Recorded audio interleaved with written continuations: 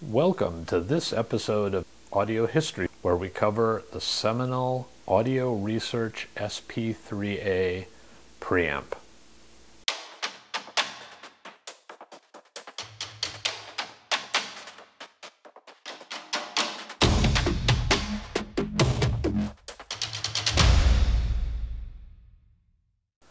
Okay, boys and girls, I'm excited about this one because this product, the Audio Research SP3A preamp, which debuted in the early 1970s, had a real impact on the audio world and one that I think we can learn quite a bit from today. So stay tuned as we go through this because it's not just a trip down memory lane. It gives us some idea of where to look for uh, ways to enjoy the hobby even more uh, although we're roughly 50 years down the road.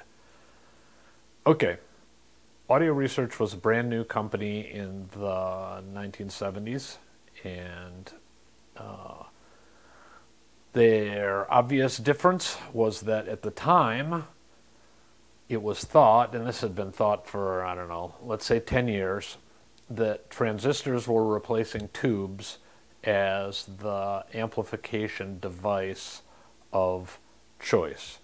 In fact, that idea had gotten so far along that tubes were considered completely backwards, and roughly speaking, there were almost no manufacturers still putting out tube electronics, or certainly not putting out new designs based on tube amplification devices.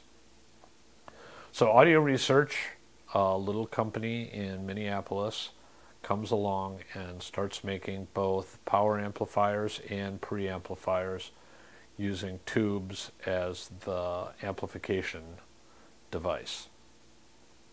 Okay, that's nice. It's kind of theoretical. Uh, I do think it helped them get some attention.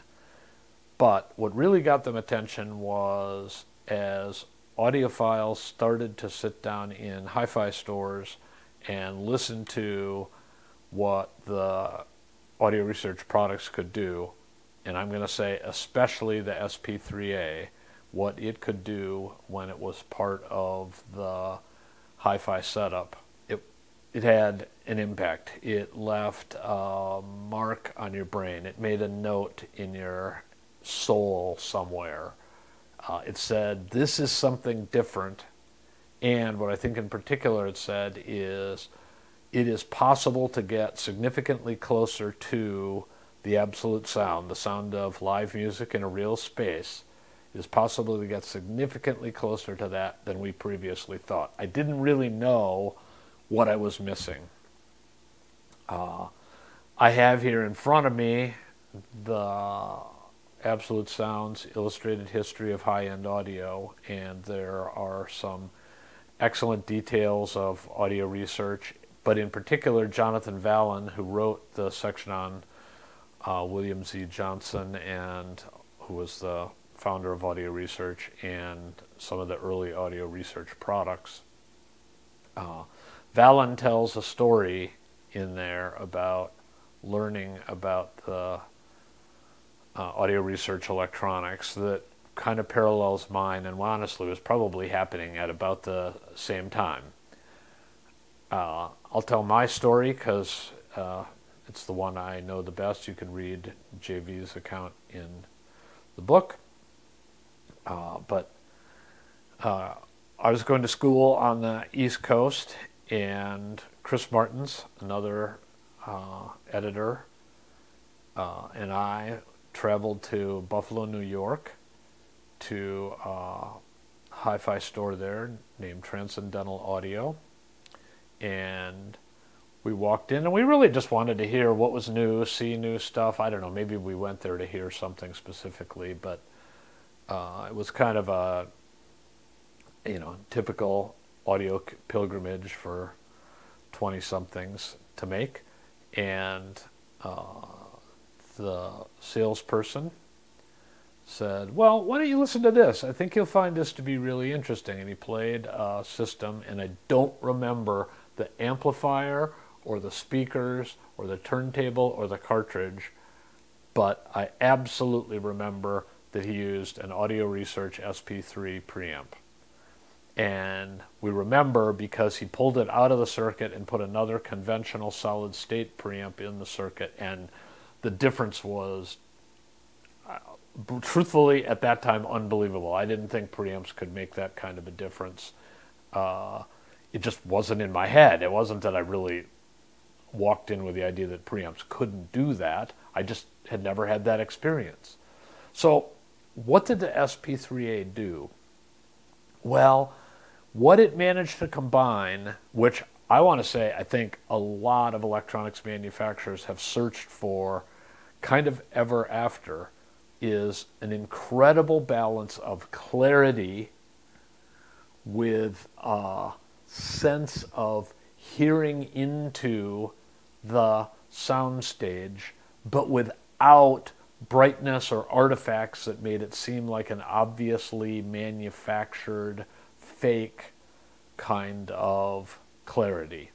It just seemed to open up the soundstage and open up the air around each instrument so it sounded much more like it was real and there without changing the tonal balance in such a way that you were like, yeah, but that's that's an artifact.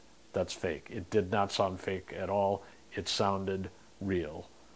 Uh, it was a tremendous experience and one we can have more and more now because products have gotten uh, significantly better since then. But it was what I think we could honestly say was a breakthrough. Uh, ironically enough, or interestingly enough, uh, the salesperson who waited on us that day was Dan D'Agostino, later to go on and found Krell, uh, another pioneering company that built electronics that changed the game, and now uh, in charge, Dan is in charge of D'Agostino Master Audio Systems. So Dan uh, turned out to be a designer and executive of some repute, and I think uh, he knew what he was listening to, and I think this helped set him on the path to trying to make groundbreaking electronics that could really change the game. So the uh, SP3A uh, sounded different in a way that you could hear pretty much instantaneously if you were really listening. And Chris and I both agreed it was uh, a game changer at the time. Dan thought it was a game changer. Bob Minnick, who owned Transcendental Audio, thought it was a game changer. So there was general agreement that we were hearing something that was truly special and different. And you could put your finger on uh, what those differences were, and you could understand that they were uh, a step, a significant step forward in the quest for greater realism. What's also nice, and a third thing that I think benefited the audio community, is that audio research kind of upset the expectations of the audio world on assumptions that we know a lot about what technology does. I can't explain to you how much uh, tubes were thought of to be the technology of the 1950s and had obviously been passed by and were obviously inferior and were obviously wrong.